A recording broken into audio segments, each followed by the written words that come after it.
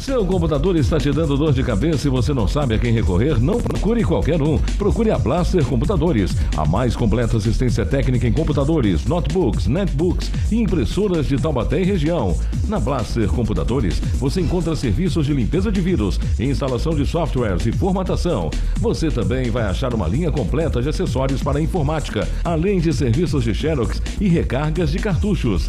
Blaster Computadores, abertas de segunda a sexta, das 8 da manhã às 10 da noite, aos sábados, das 8 da manhã às 8 da noite.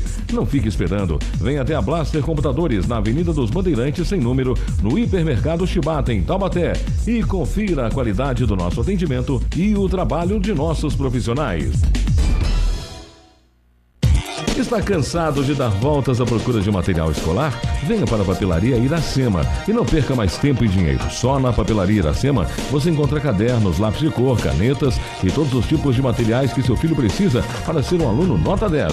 Para quem precisa de material de escritório e acessórios de informática, a Papelaria Iracema oferece uma grande variedade de produtos. Para o artesão e artista plástico, a Iracema reservou uma linha completa de tintas, pincéis, telas, aquarelas, colas e acessórios da melhor qualidade e com o melhor preço.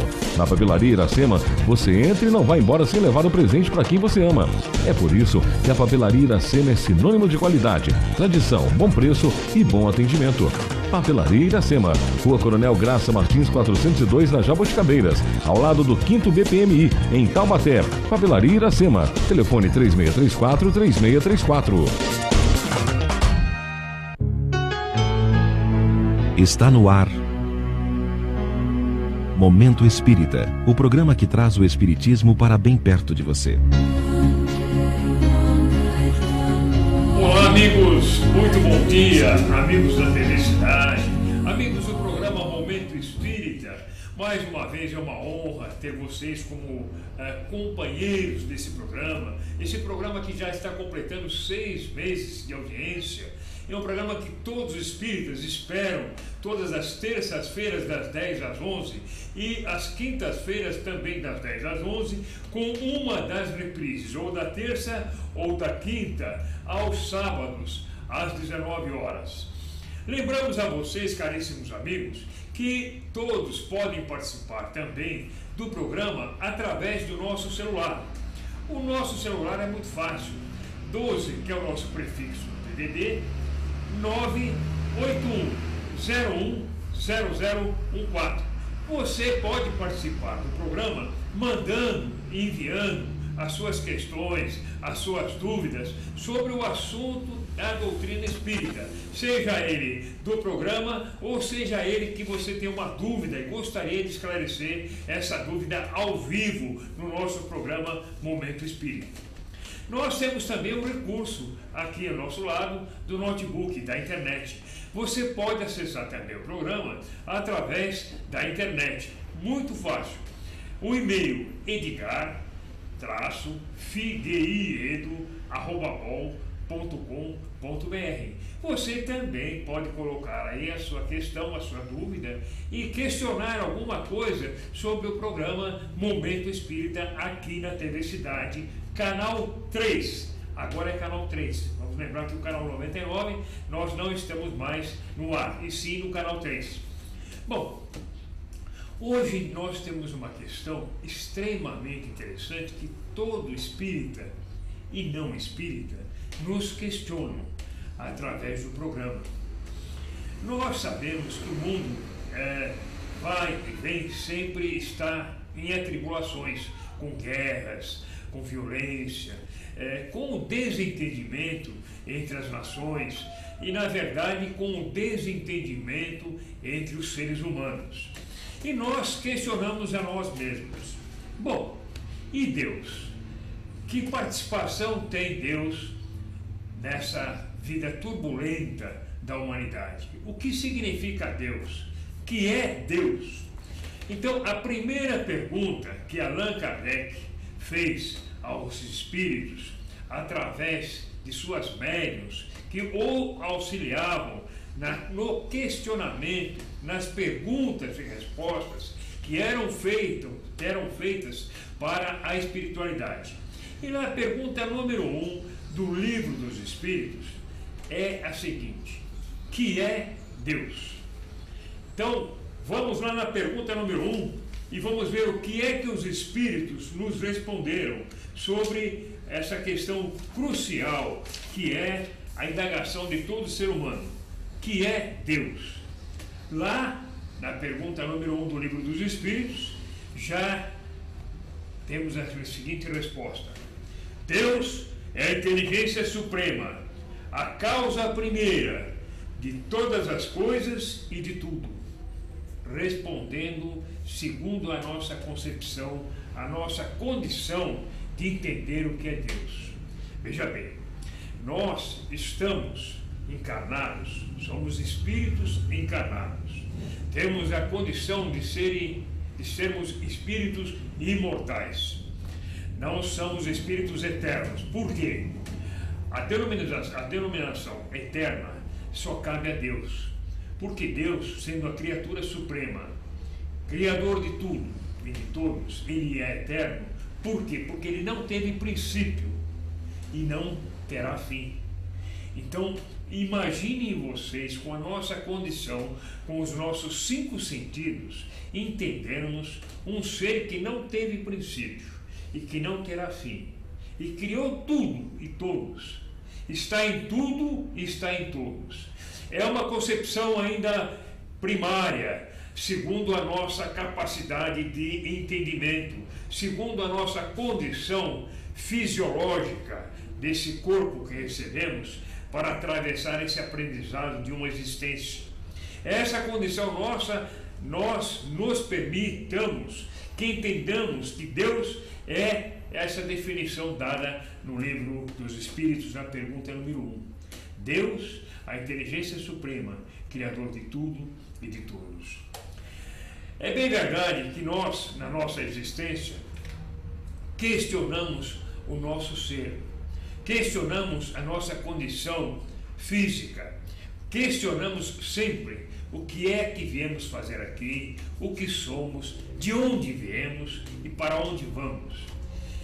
A doutrina espírita, sendo filosofia, sendo ciência e sendo religião, ela nos explica, através dos cinco livros do Pentateuco, o livro dos Espíritos, o, o, o livro dos Médios, o Evangelho segundo o Espiritismo, Céu e Inferno e, por último, a Gênesis.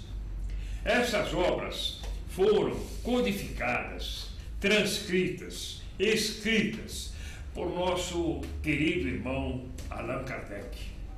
Ele, questionando através de médiums os espíritos, a espiritualidade, conseguiu compilar, através de perguntas e respostas, toda uma doutrina, ou seja, toda uma revelação do que é que somos e o que é que viemos fazer aqui. Então você, meu amigo, minha amiga, você espírita, que pratica, que vai ao centro espírita, que lê a codificação, eu recomendo sempre que você estude e reestude a codificação para assimilar cada vez mais a doutrina, para entender cada vez mais o que é que nós somos, para onde vamos e de onde viemos. Então, com essa pergunta número um do Livro dos Espíritos, que é Deus, nós conseguimos definir ah, parcialmente, vamos dizer assim, é, temporariamente, essa condição da existência suprema do Criador, Deus. Uma outra pergunta que sempre vem em nossas mentes é o seguinte: o que existe no universo? O que existe nessa, vamos dizer, nessa condição, nesse plano celestial chamado universo? E lá no livro dos Espíritos, a resposta que os Espíritos nos deram foram, foi essa. No universo, em primeiro lugar, Deus. Em segundo lugar, a sua criação espiritual, os espíritos. Em terceiro lugar, a matéria. Essa é a constituição também, momentaneamente, do universo, do que nós temos condição de entender uh, como universo. Ou seja, temos que entender como o plano de Deus. Sabemos que estamos inseridos neste plano porque temos consciência da sua existência. Já na área filosófica, René Descartes nos diz: penso, logo existo. É um pensamento, o pensamento, na verdade, é a inteligência que manifesta a, no nosso ser, na nossa condição fisiológica. E através do pensamento conseguimos elaborar o raciocínio, conseguimos entender o que é que viemos fazer aqui. No universo, nós sabemos que temos bilhões e bilhões e bilhões de planetas, bilhões de constelações, bilhões de sistemas solares. É praticamente a eternidade da matéria. Eu sempre falo em algumas palestras que nós temos o auxílio de um equipamento chamado Hubble, que nada mais é do que um telescópio que gira em torno do nosso planeta, chamado planeta Terra, que na verdade deveria se chamar planeta Água. Por quê? Se nós dividirmos o nosso planeta em quatro partes, três partes é água, uma parte somente é terra.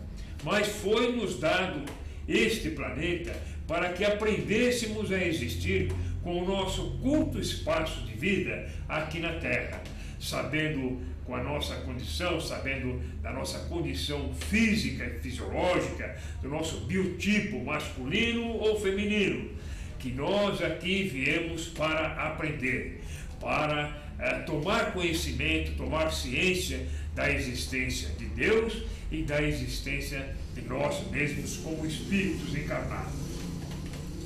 Lá na pergunta número 17 do Livro dos Espíritos, Kardec fez a seguinte questão para os espíritos: É dado ao homem conhecer o princípio das coisas? Vou repetir a pergunta. É dado ao homem conhecer o princípio das coisas? Essa pergunta ela tem um significado muito importante, porque ela engloba toda a nossa dúvida sobre o questionamento de tudo. Nós questionamos sempre tudo, já faz parte do nosso intelecto, da nossa inteligência, uh, questionar. E através do questionamento, da dúvida, é que vamos aprender. A resposta que os espíritos nos deram foi essa. Vou repetir a pergunta. É dado ao homem conhecer o princípio das coisas? Resposta dos espíritos: não. Deus não permite que tudo seja revelado ao homem neste mundo. O que ele respondeu? Os espíritos responderam a Kardec que não, que Deus não permite que tudo seja revelado ao homem neste mundo. Por quê? Vamos responder.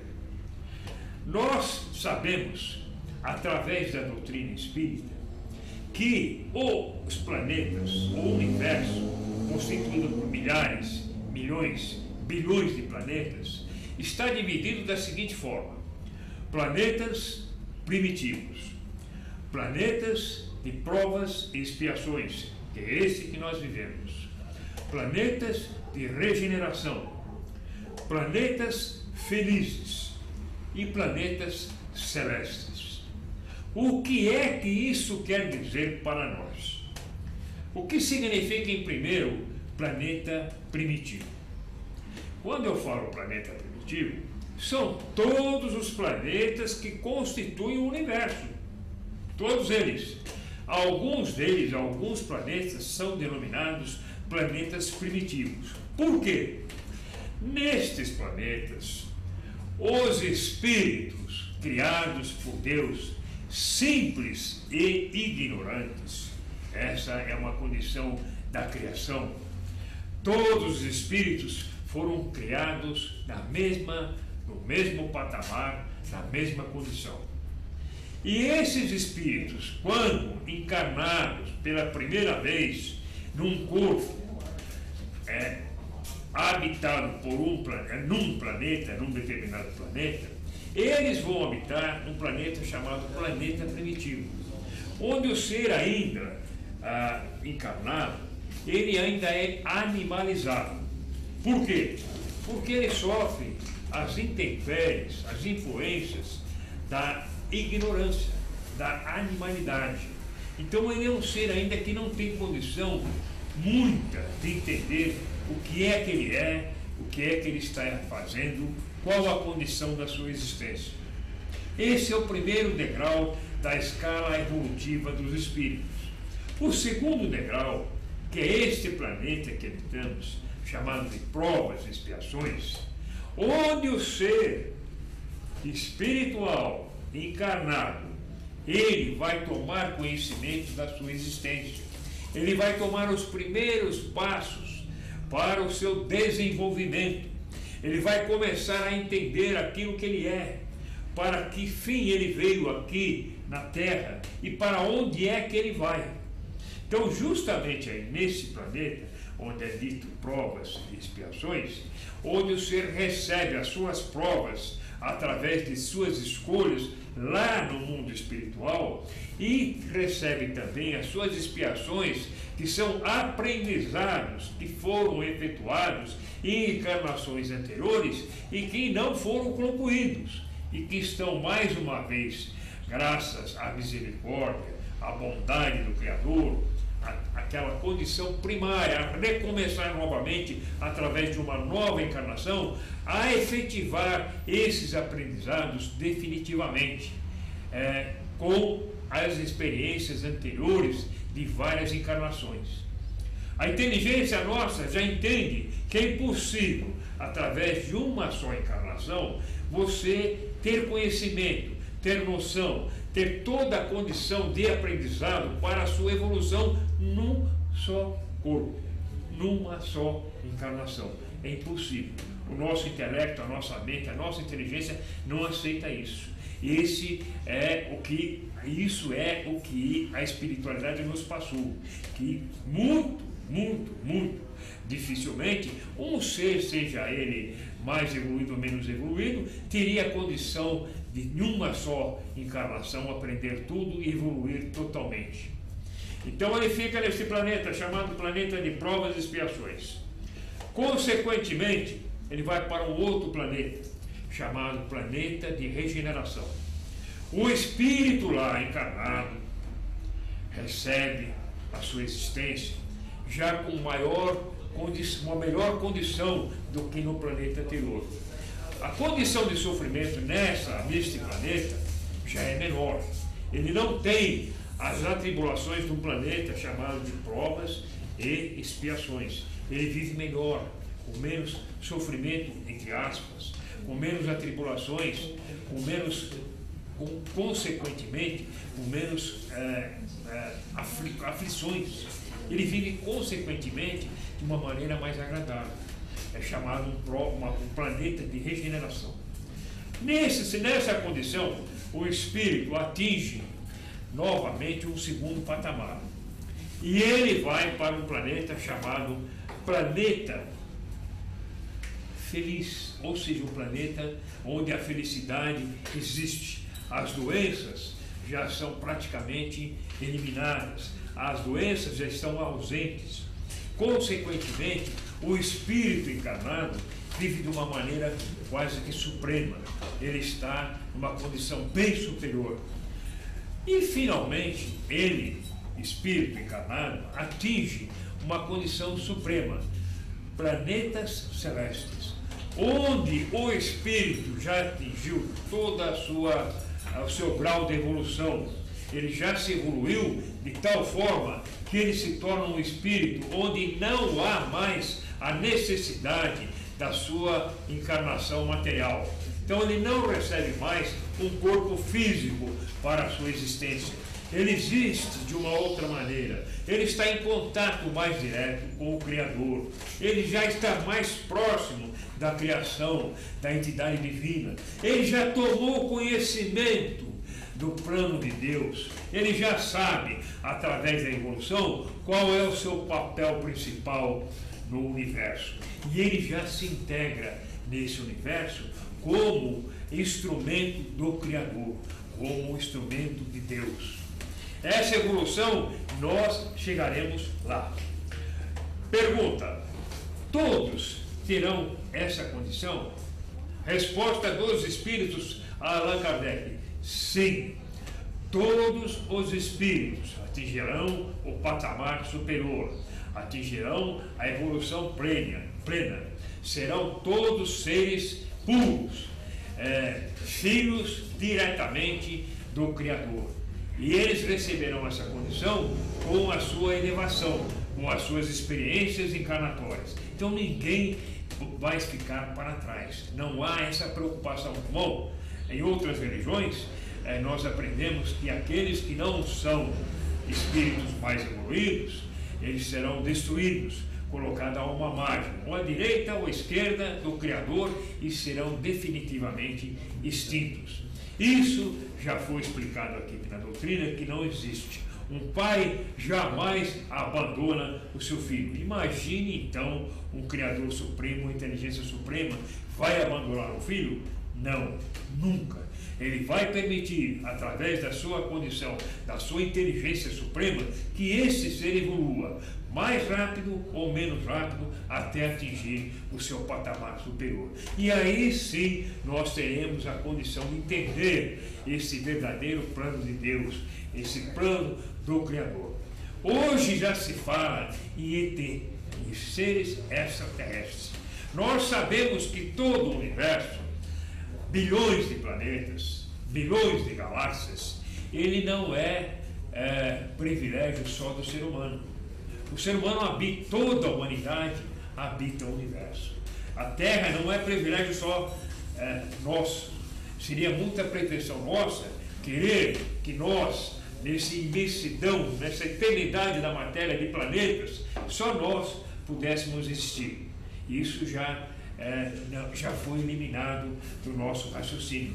Nós entendemos que o universo, através de bilhões e bilhões de planetas, é, ele é totalmente habitado. A vida permanece lá. Evidentemente que a mídia hoje já nos auxilia, dando notícia de que ah, avistamentos de naves, de aeronaves, de seres extraterrenos já se fazem presente entre nós. Isso não é nada de sobrenatural e nem é, nada de anormal. Isso faz parte da natureza da, da existência humana. Bom, Vamos aos nossos comerciais e logo após os nossos comerciais vamos ter a presença da doutora Elane aqui conosco, conversando, perguntando, indagando sobre a doutrina espírita. Até já, não saia daí. É com você, Marquinhos. Seu computador está te dando dor de cabeça e você não sabe a quem recorrer? Não procure qualquer um. Procure a Blaster Computadores, a mais completa assistência técnica em computadores, notebooks, netbooks e impressoras de Taubaté e região. Na Blaster Computadores, você encontra serviços de limpeza de vírus, instalação de softwares e formatação. Você também vai achar uma linha completa de acessórios para informática, além de serviços de Xerox e recargas de cartuchos. Blaster Computadores, abertas de segunda a sexta, das 8 da manhã às 10 da noite, aos sábados, das 8 da manhã às 8 da noite. Não fique esperando. Venha até a Blaster Computadores, na Avenida dos Bandeirantes, sem número, no Hipermercado Chibata, em Taubaté. E confira a qualidade do nosso atendimento e o trabalho de nossos profissionais. Está cansado de dar voltas à procura de material escolar? Venha para a Papelaria Iracema e não perca mais tempo e dinheiro. Só na Papelaria Iracema você encontra cadernos, lápis de cor, canetas e todos os tipos de materiais que seu filho precisa para ser um aluno nota 10.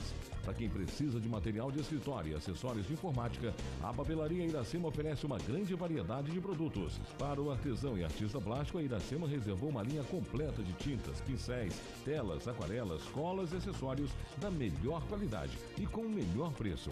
Na papelaria Iracema, você entra e não vai embora sem levar o presente para quem você ama. É por isso que a papelaria Iracema é sinônimo de qualidade, tradição, bom preço e bom atendimento. Papelaria Iracema, Rua Coronel Graça Martins 402 na Jaboticabeiras, ao lado do 5 BPMI, em Taubaté. Papelaria Iracema, telefone 3634 3634. Está no ar. Momento Espírita o programa que traz o Espiritismo para bem perto de você. Olha, meus amigos, muito bom dia mais uma vez. Continuando o nosso programa de hoje, é, Momento Espírita, contamos com a presença da nossa querida amiga, a doutora Elaine Figueiredo, veio a brilhantar o nosso programa e com a sua presença, com as suas dúvidas, questionando sobre o Espiritismo e falando um pouquinho mais sobre também a condição da odontologia aqui em Taubaté. Tudo bem com a senhora, doutora Helene?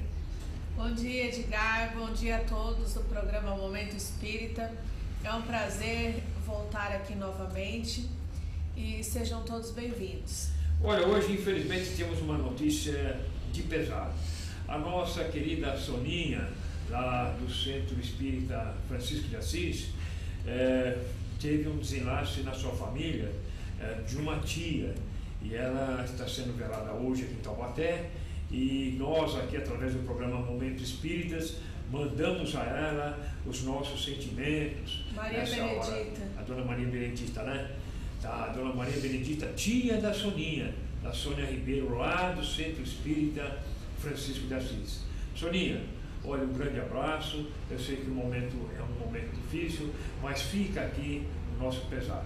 Com certeza ela já está sendo amparada, já está sendo uh, velada, já está sendo recebida lá no mundo espiritual pelos nossos irmãos espíritos, pelos espíritos superiores pelos espíritos que vão amparar ela nessa hora, com certeza.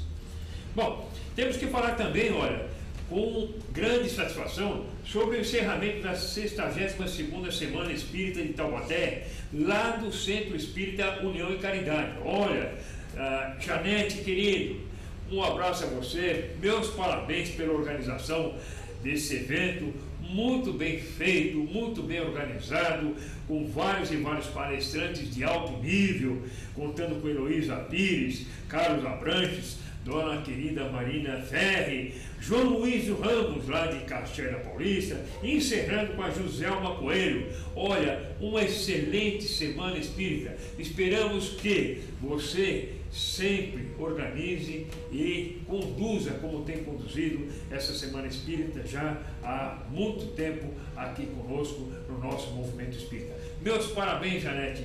Um abraço a você. Continue sempre assim. Bom, doutora Elaine, você tem alguma dúvida? Você tem alguma questão que você gostaria de fazer, de questionar sobre a doutrina espírita? Sim, além de ser profissional liberal, dentista, também sou espírita e participo de vários centros espíritas. Vou fazer uma pergunta aqui do livro dos Espíritos sobre o espaço universal. O espaço universal é infinito ou limitado? Olha, essa pergunta é uma pergunta muito interessante porque agora mesmo, é, na primeira parte do programa, nós desenvolvemos o assunto referente ao universo. É uma pergunta muito interessante, porque é, ela nos condiciona a entender o que é limitado ou ilimitado no universo.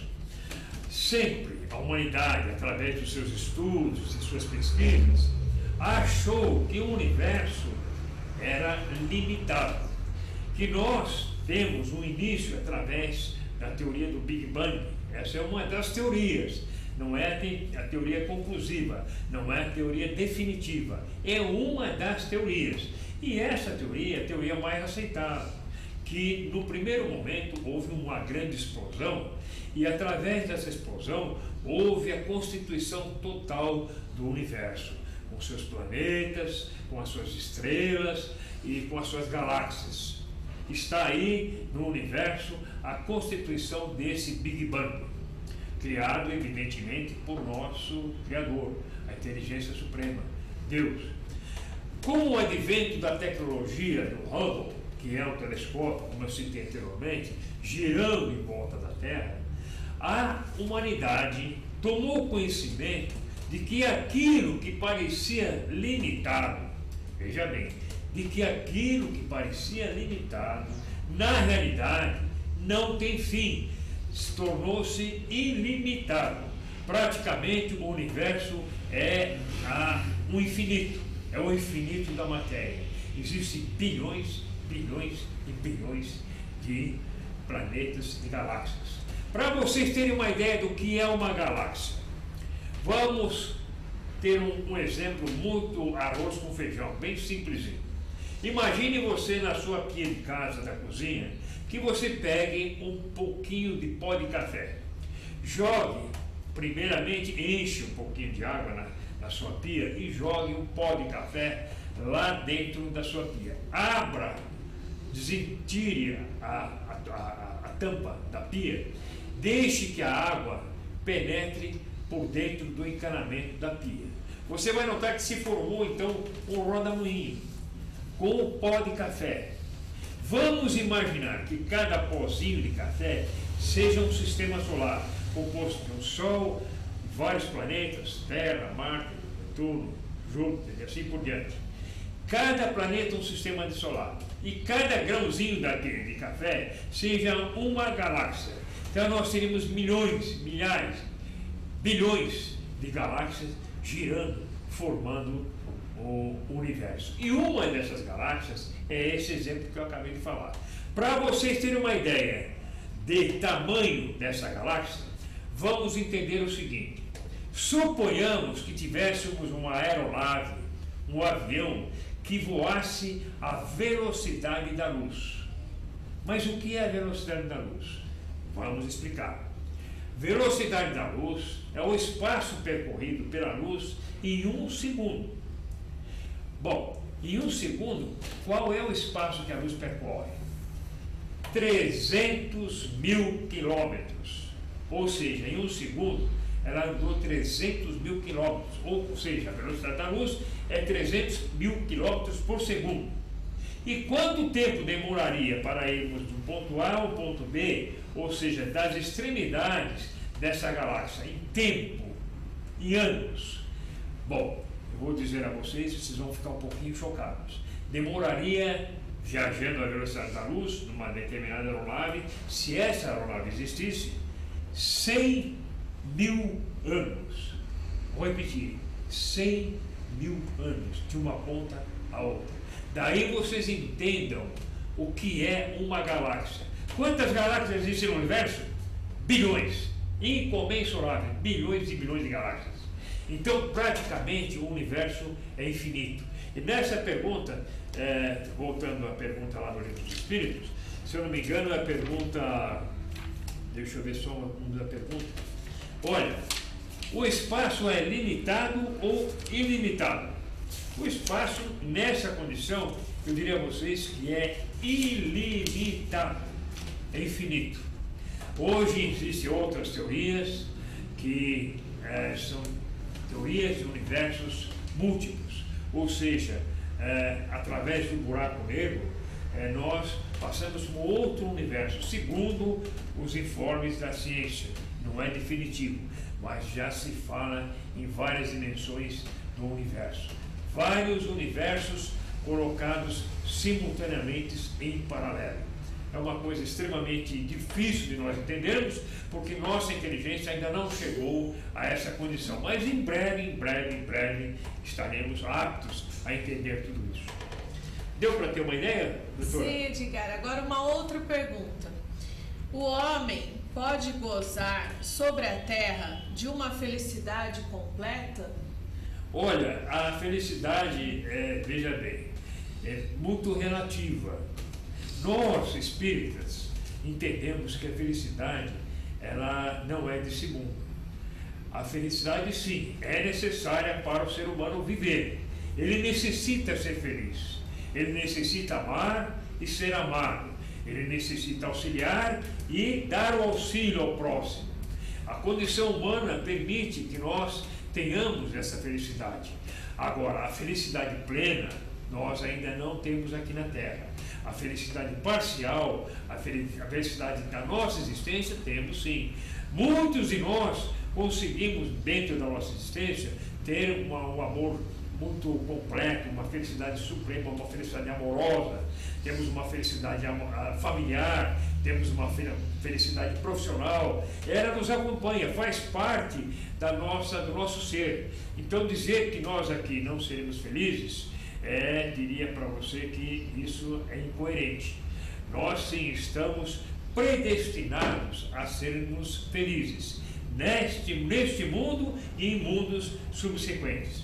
É bem verdade que esse mundo é um mundo de provas e expiações, caminhando lentamente, a passos de formiga, para um mundo de regeneração. Então a felicidade, ela faz parte nossa, é parte do nosso, do nosso ser. Por que não? Tem que ser uma condição é, existencial nossa. Mais uma pergunta, Edgar. Por que Deus favorece com os dons da fortuna certos homens que não parecem merecê-los? Olha, a fortuna, na verdade, é uma das mais fortes provas que o ser humano pode suportar. Nós imaginamos muitas vezes que se tivermos uma fortuna, seremos mais felizes. Que se tivermos uma riqueza, seremos mais poderosos. Se nós tivermos condição financeira uh, mais fortes, mais robustas, seremos mais felizes. Isto não é verdade, porque a grande maioria das pessoas que possuem determinada fortuna, que são homens e mulheres abastados socialmente, é, que têm muito dinheiro, na maioria das vezes não são felizes. Nós tivemos recentemente vários e vários casos onde um presidente de uma empresa chamada IOC, ele era um ser extremamente é, rico, né? tinha muito dinheiro e a história, o desenrolar da sua existência não foi muito bom, não foi muito feliz. Ele foi, infelizmente, até foi assassinado e esquartejado. É, uma coisa horrível, uma coisa tremendamente, quase que insuportável. Né? Mas a felicidade, meus amigos, não depende do dinheiro, não depende do poder aquisitivo, não, não depende do poder. A felicidade está sempre conosco, no nosso coração. Em primeiro lugar, temos que ser felizes conosco, conosco mesmo. Depois, sermos felizes com o próximo. Em primeiro lugar, precisamos amar a nós mesmos. Depois, amarmos o nosso próximo. Se nós obedecermos essa sequência, esse, vamos dizer, essa orientação dada pelos Espíritos, nós, consequentemente, iremos nos melhorar, atingir um patamar melhor e seremos, consequentemente, mais felizes. Muito bem, Edgar. E agora, uma última pergunta, já que você falou sobre o amor, que é o amor é tudo na nossa existência. Vamos é, refletir sobre o nosso planejamento e quero que você me explique sobre o caso da alma gêmea, da cara metade. Já está tudo escrito, o nosso encontro, o nosso destino? Como será? Eu te pergunto. Olha, é, é, no Espiritismo nós todos sabemos que a palavra alma gêmea, na sua plenitude do seu significado, ela não existe. Porque, veja bem, não existem dois seres humanos iguais como não existem dois espíritos iguais. Todos os espíritos foram criados na mesma condição, porém com a possibilidade de uns entenderem melhor e outros entenderem mais lentamente. Mas nem por isso esse que ficou lentamente com o seu aprendizado vai deixar de chegar lá no final no aprendizado total. É, depende muito de cada um. Cada um tem o seu, vamos dizer assim, a sua condição de aprender mais, de se desenvolver intelectualmente e assim por diante. O amor é uma condição nata do ser humano. Nós precisamos de amor, como eu falei anteriormente. O amor conjugal, talvez seja isso que a, que a dona Helene queria falar, o amor conjugal, ele faz parte também da nossa existência, porque através do amor conjugal, ou seja, o amor entre o homem e a mulher, é que nós colocamos a família, nós é, enaltecemos a família, nós criamos a família. Com o amor entre dois seres, os seres se reproduzem. E quanto maior esse amor, mais amor a família vai, existe, vai, vai possuir. Vai ser um, o amor mais fraterno, o amor do pai para com a mãe, o amor da mãe para com o filho, o amor do pai para com o filho. Aquele amor, ele prolifera, ele se espalha pela família. Os filhos recebem também esse amor, se tornam melhores, se tornam mais capacitados para a evolução, sente mais o peso da família, compreende mais a condição da família, amam mais o pai, amam mais a mãe, amam mais seus irmãos, amam mais seus familiares, vivem mais o amor entre si dentro da família. Então, muitas vezes, quando nós vemos um jovem desajustado, o problema não está com o jovem, com certeza, está com a família. Quando o pai e a mãe não receberam e não têm o amor, aquele amor conjugal que eu me referi, aquele amor não, não nasceu entre eles e eles não conseguem transmitir isso aos filhos. E, consequentemente, não conseguem transmitir isso também ao seu próximo. Para que nós amemos ao próximo, precisamos amar a nós mesmos, aos nossos familiares, a nossa família e a todos nós e a todos aqueles que nos cercam. O amor é a palavra-chave de qualquer existência, seja ela pobre, rica, abastada, intelectualizada ou não. O amor faz presença, sim, sempre deve, deverá estar conosco. Então quer dizer que o amor é tudo na nossa existência, né? Existem os laços. E é verdade que a inteligência não é hereditária? Não se passa a inteligência dos pais para os filhos? O que você acha disso? Olha, a inteligência é, um, é uma, uma condição uh, de cada um. Cada um tem a sua inteligência, de acordo com a sua evolução. Se em determinada uh, época de nossa existência nós nos dedicarmos a conhecimento, a tomar ciência da, da, da, própria ciência, tomar ciência do que nós somos, tomar ciência da tecnologia, a própria tecnologia alavanca a humanidade. Haja visto nesses últimos 400, 500 anos que a humanidade evoluiu muito mais do que 5 mil, 4 mil, 2 mil anos atrás. Nós viemos uma condição extremamente pobre intelectualmente para uma tecnologia mais avançada, uma tecnologia mais desenvolvida para nos auxiliar em nossa existência. Então, o intelecto, a inteligência de cada um varia de acordo com cada um também, de acordo com a nossa nosso interesse em nos desenvolver, a nossa aptidão para determinadas nosso talento para determinadas faces da ciência e assim por diante. Uns vêm com talento para a pintura, outros vêm com talento para o cálculo, outros vêm com talento para a escritura, cada um de acordo com as experiências que tiveram nas encarnações anteriores. Nós somos frutos, sim, de de, de, de, inteligências anteriores, de conhecimentos anteriores, de intelectos anteriores, adquiridos de outras encarnações. Então estamos em condição, cada um na sua, na sua própria na sua própria logística, né, na sua própria condição física, para ter mais talento ou menos talento em determinada, determinado assunto da nossa existência. Então a inteligência é própria do ser humano, é uma evolução de cada um. Mais uma dúvida. Pois. O espírito que anima o corpo de uma criança é tão desenvolvido como de um adulto?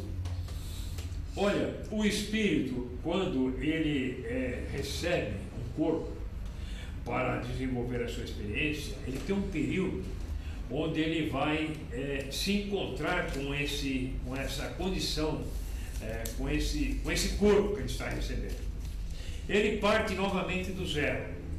É, Deus, na sua vontade suprema, permite que o espírito reinicie uma nova experiência encarnatória a cada momento novamente de um corpo encarnado. Então, cada experiência encarnatória, ele começa do zero. Ele vai novamente é, ter a oportunidade de efetivar o seu aprendizado. Evidentemente que ele traz consigo a evolução moral, a evolução intelectual no seu subconsciente. Ele já carrega aquilo através do seu espírito, já com a condição estabelecida, pré-estabelecida com as experiências anteriores. E isso é provado. Nós sabemos que existem é, pessoas, jovens, crianças de 7, 8 anos que tocam piano maravilhosamente bem. Tocam uh, Mozart, Beethoven, sem muitas vezes nunca terem aprendido o piano. Muitas vezes sem mesmo ter conhecimentos musicais e tocam a, a, a melodia da sua total integridade.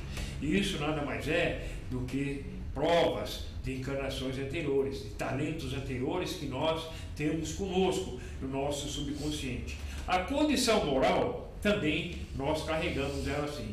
Nós, através do nosso físico, da nossa fisiologia, nós sabemos de antemão ah, o que é certo, o que é errado. Nós temos a condição moral já inserida na nossa inteligência, no nosso cérebro. A criança demora, sim, até os sete anos, o espírito ainda está numa fase de perturbação, ele ainda está assimilando aquele corpo que ele recebeu para a sua experiência. E assim, a partir dos sete anos de idade, ele definitivamente toma, se assenhora daquele corpo e toca a sua experiência encarnatória para frente. Agora sobre a simpatia. Além da semelhança geral de afinidade, há entre os espíritos afeições particulares? Ah, sim. Como não? Ah, sim. Olha, um detalhe. É, tudo aquilo que somos aqui, neste mundo, e outros mundos também, seremos na espiritualidade, no mundo espiritual. Se nós aqui na Terra somos ah, pessoas evoluídas, conhecedores de da própria doutrina, praticantes do cristianismo, tendo o amor do Cristo como a orientação eh, primária da nossa vida, nós lá no, lá no mundo espiritual também seremos a mesma coisa. Nós levamos essa condição de seres que vivemos aqui na Terra, essa experiência que nós temos aqui na Terra, nós levamos com, conosco. Ela vai conosco. Então, lá no mundo espiritual, somos aquilo que somos aqui, não mudamos em nada. Vamos sim continuar o nosso aprendizado. Lá no mundo espiritual, receberemos também novas instruções, novos conhecimentos e estaremos cada vez mais próximos de Deus, recebendo do Cristo, do Mestre Supremo, a orientação suprema da nossa existência, o amor ao próximo, o amor ao próximo como a ti mesmo, amando a Deus sobre todas as coisas e ao próximo como a nós mesmos. Muito bem, Edgar. Agora eu faço uma pergunta no Livro dos Espíritos, questão 658. A prece é agradável a Deus? Claro, como não? A prece nada mais é do que uma conversa com o Criador. A prece não é necessária ter é, é, palavras é, decoradas, mesmas palavras, palavras pré-elaboradas. Essa prece pouco chega ao nosso Criador. Porém, a prece dada com o nosso íntimo, com o nosso coração, com as nossas palavras, quando nós nos dedicamos a falar com o Criador, pedindo a Ele que nos oriente, que nos ilumine, pedindo a Ele perdão pelas nossas ofensas, pedindo a Ele que nos leve a uma condição melhor, principalmente atendendo os ensinamentos de Jesus, essa prece, quando vem de dentro do nosso coração, ela imediatamente chega muito mais rápida a Deus e muito mais rápida à espiritualidade. A prece feita uh, de dentro para fora, ela é muito mais agradável a Deus. A conversa se torna muito mais importante, muito mais séria e muito mais feliz na conversação com a divindade. A prece no, é, no final é muito importante. A reencarnação é o meio de ocorrer a justiça de Deus? Olha, a reencarnação é a oportunidade que o Criador nos dá de um novo aprendizado. Várias e várias religiões não admitem a reencarnação. A própria Igreja Católica, até algum tempo atrás, admitia a reencarnação, mas por questões de uma rainha em determinado eh, reinado na Idade Média, se retirou a reencarnação como sendo um fato eh, real da religiosidade católica. Outras religiões sabem que eh, o espírito é permanente, o espírito, todas elas, por sinal, têm conhecimento da imortalidade do espírito. Eh, nós espíritas sabemos que é impossível um espírito evoluir num só momento, num só aprendizado. E depois, veja bem, vamos analisar. Como seria aquele espírito que encarna numa civilização, numa, civilização moderna, onde ele tem acesso à tecnologia, onde ele tem acesso às informações, onde ele tem acesso aos livros, ao desenvolvimento intelectual, ao conhecimento da sociedade, ao, ao conhecimento do progresso. Como seria esse ser equiparado àquele que vive lá, lá na, nas margens da, do rio Amazonas, nas zonas é, ribeirinhas do rio Amazonas, que não tem luz, não tem eletricidade, não tem livros, não tem conhecimento da sociedade.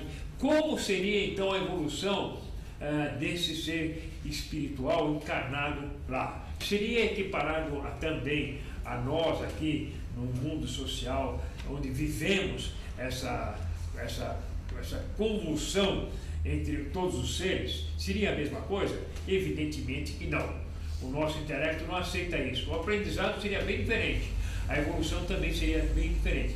Mas o Criador, através da reencarnação, permite que aquele espírito lá encarnado evolua, vindo reencarnar em outro meio, vindo reencarnar nesse planeta ou em outro qualquer, e vindo encarnar para uma nova experiência, para uma nova condição de evolução. A evolução é constante. A vida, como a evolução, é permanente no universo.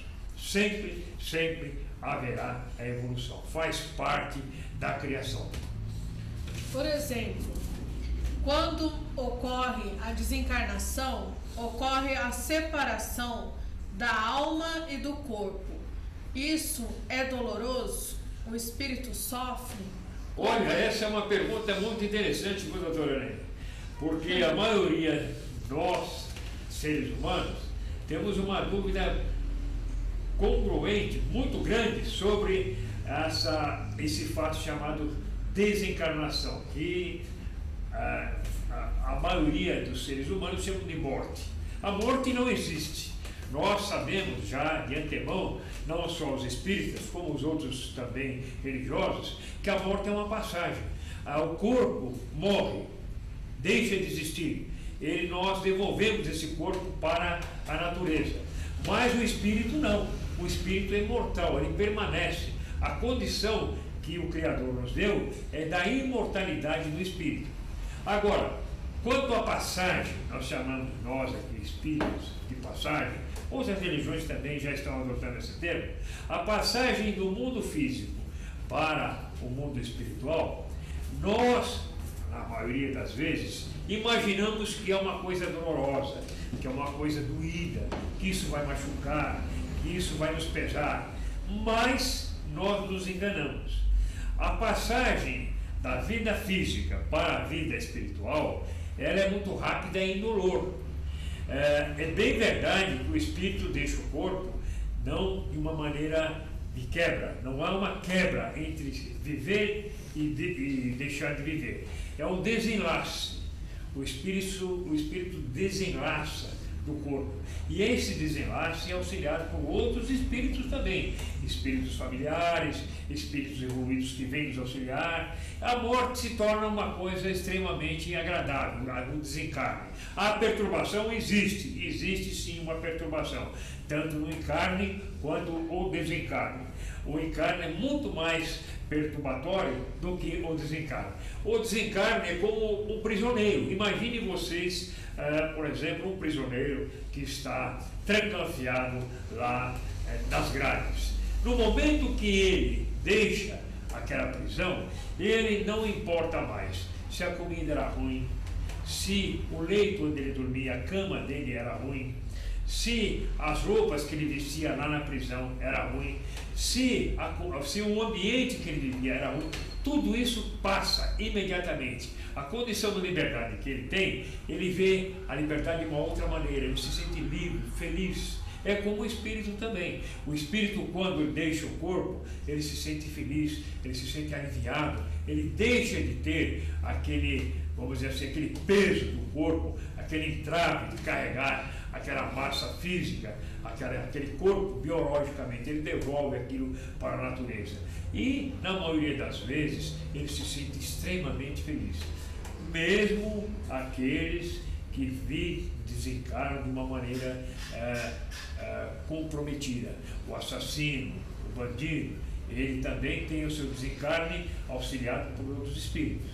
Mas a sua consciência vai pesar mais ele vai ter que se reparar, ele vai ter que melhorar lá no mundo espiritual e vai responder pelas suas atitudes. A sua consciência vai ser examinada. Ele mesmo vai chegar à conclusão de que na sua existência ele praticou vários e vários atos e que deverão ser reparados por uma nova existência, por uma nova encarnação.